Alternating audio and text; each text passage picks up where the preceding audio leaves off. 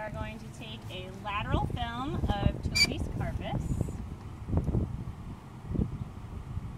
Okay?